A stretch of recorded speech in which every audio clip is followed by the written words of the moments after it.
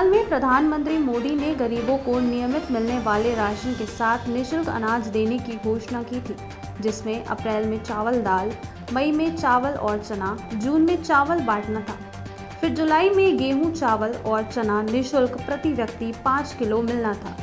नवंबर तक नियमित राशन के साथ अलग से निशुल्क अनाज बांटने की योजना है, लेकिन गरीबों की थाली के निवालों पर ही अब डाका डाल दिया गया है।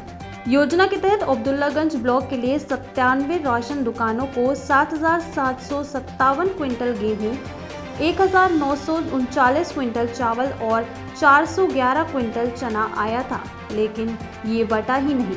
इसकी कीमत दो करोड़ बताई जा रही है। बताया जा रहा है कि खाद्य अधिकारी और सेल्समैन ने मिलकर इस फर्जीवाड़े को अंजाम दिया है।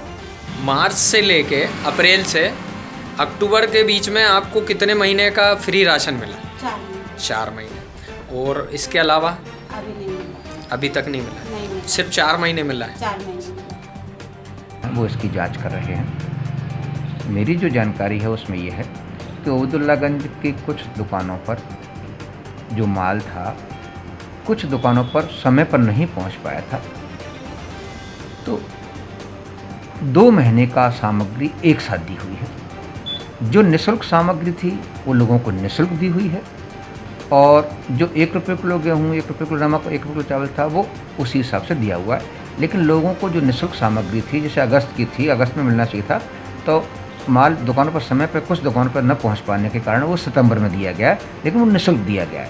सितंबर माह का जो सामग्री वो तो सितंबर में दी ही गई है साथ साथ में अगस्त माह की भी दी गई है और निःशुल्क दी गई है। लेकिन ये केवल कुछ ही दुकानों पर हुआ है बस। बट माल जो खाद्यान्न है वो सभी लोगों को दिया गया। इसकी कुछ जाँच वगैरह करें हाँ।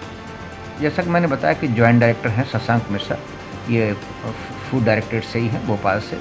वो इसकी जाँच कर रहे हैं। अप्रैल से लेके अक्टूबर तक आपको कितने महीने का गल्ला फ्री में मिला है?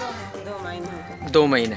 बीच में आपको गल्ला फ्री में नहीं मिला? नहीं मिला पैसे से ही मिलता था। कितने किलो मिलता था? पैंतीस किलो। पैंतीस किलो। रायसेन से अजय गोहिल की रिपोर्ट।